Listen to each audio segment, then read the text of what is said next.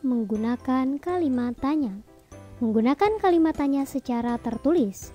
Kalimat tanya adalah kalimat yang dipergunakan dengan tujuan memperoleh reaksi berupa jawaban dari yang ditanya. Jenis kalimat tanya dan kata tanya yaitu kalimat tanya, klarifikasi dan konfirmasi. Kalimat tanya retoris.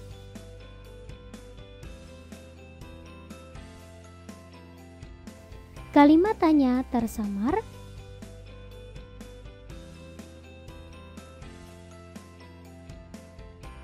Jenis kalimat tanya biasa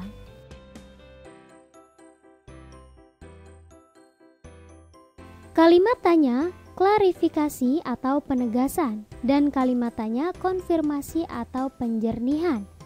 Ialah kalimat tanya yang disampaikan kepada orang lain untuk tujuan mengukuhkan dan memperjelas persoalan yang sebelumnya telah diketahui oleh penanya.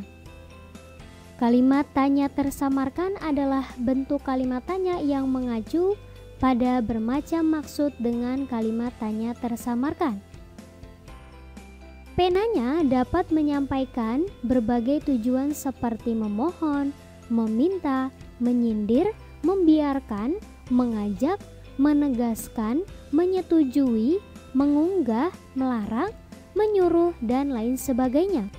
Kalimat tanya biasanya kalimat yang dipergunakan dirumuskan dengan 5W plus 1H.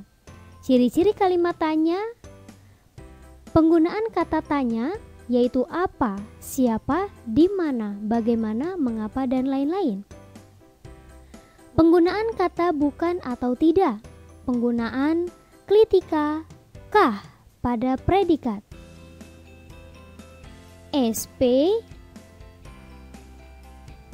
PS Penggunaan intonasi naik pada suka kata akhir. Contoh kalimat tanya klarifikasi dan konfirmasi. Apa benar barang-barang ini milikmu?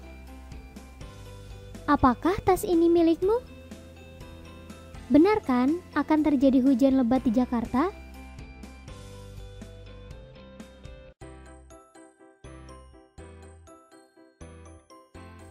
Kata tanya yang 5W plus 1H